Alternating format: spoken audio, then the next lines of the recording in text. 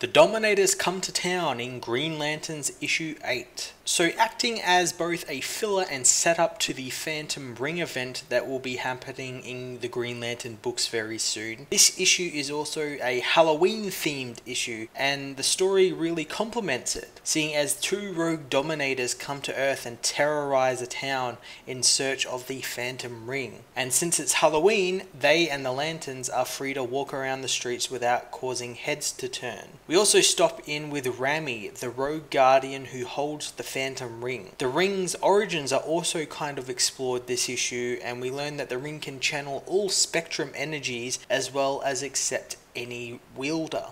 I think using what is essentially a filler issue to act as a prologue to the next event is actually pretty smart, and something I don't think any of the other DC Rebirth books are actually doing, uh, since a lot of the issues 7 or 8 were kind of just one off storylines, uh, like the Superman one, which was just a one off storyline, one of him and his family going to a fair. This leaves the story to get right to the point without any unnecessary stopping to dump exposition on the reader, and we won't get those issues where they literally just stop all the action and just explain why, you know, this person's after something or what this thing does. I think is a great concept that they're doing. I can't wait to read the Phantom Ring storyline and all the characters it will involve, such as Kyle Rayner, who hasn't actually been seen since the end of Omega Men, where he faked his death. So I'm intrigued to see what he's been up to since the rebirth of this new DC universe. I'm going to give this book a 9 out of 10.